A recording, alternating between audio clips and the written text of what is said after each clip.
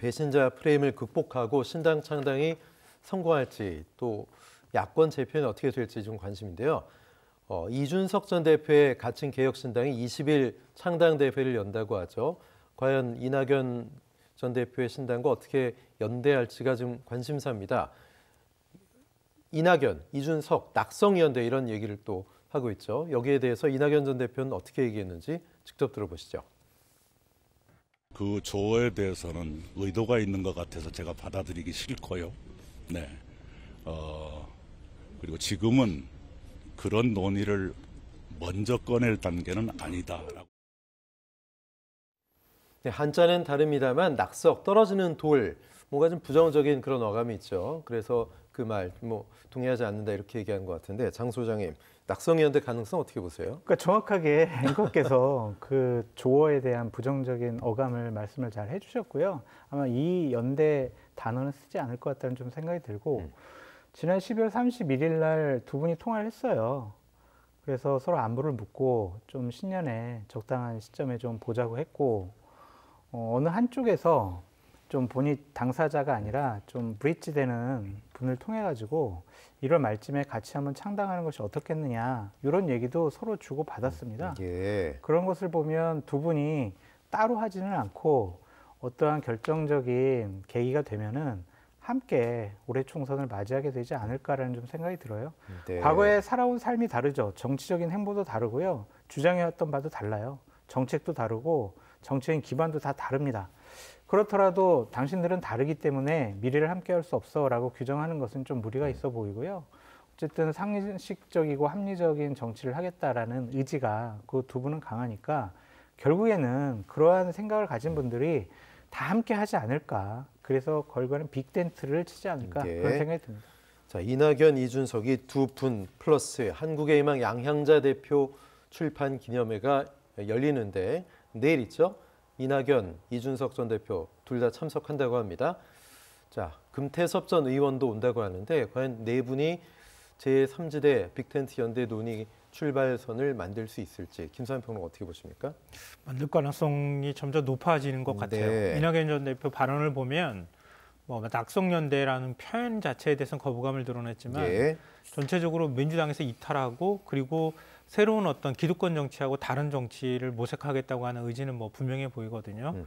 그러니까 이준석 전 대표하고의 접점은 넓어질 가능성이 있다 이렇게 보이는데요. 다만 그게 국민들한테 어느 정도 호응을 받을 것인가 이게 중요하지 않겠어요. 네. 근데 정치적 명분으로는 저는 그렇게 명분이 서지는 않아요. 음. 그러니까 이해가 잘 안 되기도 하고요. 그러니까 장순철 소장께서는 뭐 충분히 가능하다 이렇게 말씀하시는데요. 이낙연 전 대표는 호남에서 가장 기득권 세력이에요. 그러니까 이준석 전 대표는 어, 영남에서 기득권 세력이 아니잖아요. 오히려 수도권이었었고요. 부모님 고향이 TK고요. 그리고 어, 국민의힘이 지나치게 대통령 중심으로 해서 사당화되는 모습에 견제를 하는 과정, 그리고 또 억지로 당대표에서 끌어내려진 당사자이기도 한 거예요. 일종의 피해자이기도 한 겁니다. 그래서 보수의 개혁을 얘기를 외치는 입장이란 말이에요.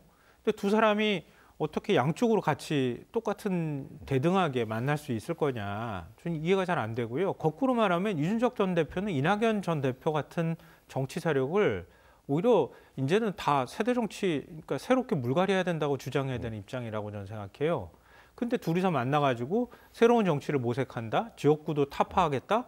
그러니까 지역구도 타파 대상이 되는 사람하고 그렇지 잘 이해가 안 되고요. 그러니까 그렇게 하면 이낙연 전 대표하고 이준석 전 대표하고 누가 뭐 득실로 따지면 누가 이득이 더 클까 이렇게 생각해 보면 저는 이준석 전 대표가 훨씬 클 거라고 생각해요. 그러니까 여러 가지 면에서 세력적인 측면에도 그렇고요.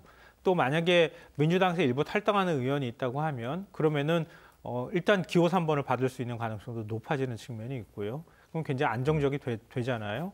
그리고 이제 국민의힘에서 일부 공천을 못 받는 의원들이 결합하게 될 경우에는 나름의 정치 세력화할 수 있는 그런 덩치를 만들 수 있는 측면은 있다 이렇게 보이고요. 그리고 미래 정치를 좀 상징하는 측면도 있단 말이에요.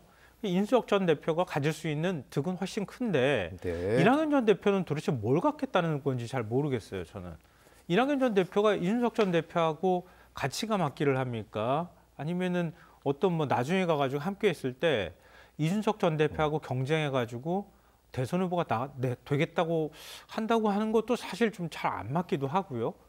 뭐가 도대체 맞는 걸까? 그냥 살기 위해서 저러는 걸까? 이런 면에서는 저는 국민들한테 설득이 잘 안 될 거라고 생각해요. 그래서 오히려 이준석 전 대표보다는 이낙연 전 대표의 어떤 실이 훨씬 더 큰 상황이 될 거다. 네. 그래서 그런 면을 좀 면밀하게 따져보면 그냥 뭐 가가지고 함께 하, 하면 되겠다는 사고 방식이면 모를까 그렇지 않고서는 저는 이낙연 전 대표가 함께하는 것은 좀 이해가 잘 안 됩니다. 김성환 평론가님께서는 동굴 속에서 나오셔가지고 더 넓은 세상을 보셨으면 좋겠다라는 음. 생각이 듭니다. 동굴 안에서 하늘을 보면은 동굴 입구 크기만큼만 하늘이 그 정도만 보이잖아요. 나오면은 한눈에 들어오지 않는 하늘이 있습니다. 그래서 네. 과거의 행적 때문에 너희들은 미래를 함께할 수 없어라고 규정 내리는 것은 좀 너무 과한 비판이 아니냐라는 네. 생각이 듭니다. 네,